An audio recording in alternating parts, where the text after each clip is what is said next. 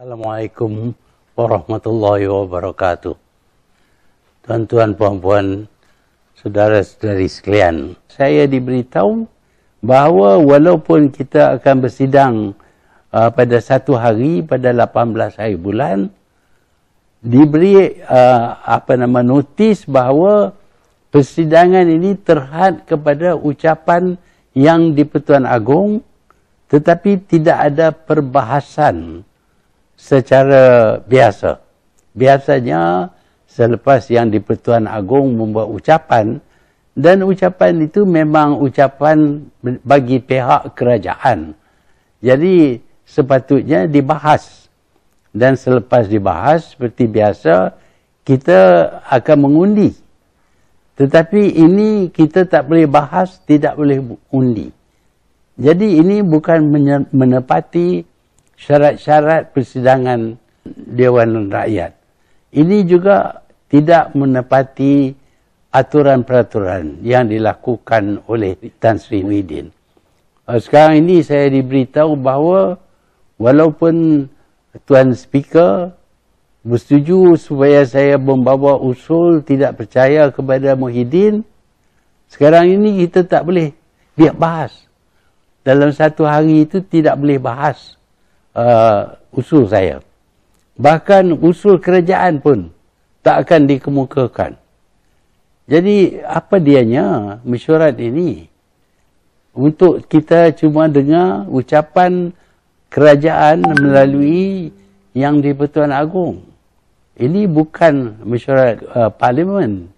Dan kita lambat-lambatkan persidangan ini bila kita minta untuk 8 hari pun tak diberi dan kalau kita tiap sidang secara formal uh, selepas 60 hari uh, saya anggap bahawa uh, pemilihan kerajaan ini tidak menepati undang-undang itu terpulanglah kepada pakar-pakar undang-undang menyatakan sama ada sidang satu hari ini betul-betul sidang parlimen mengikut aturan peraturan. Inilah yang saya ingin jelaskan uh, saya telah uh, tunggu untuk diberi peluang uh, bercakap untuk menyokong usul saya undi tidak percaya kepada Muhyiddin.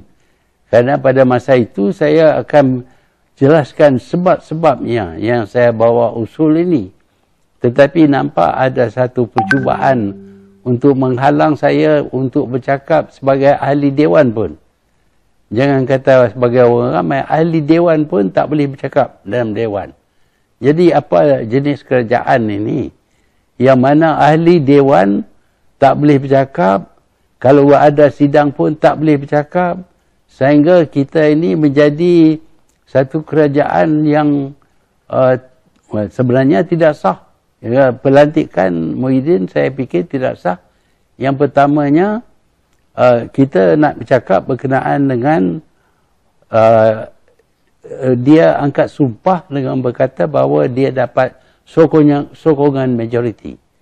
Saya nak tahulah sama ada betul. Dan ini Dewan boleh tentukan.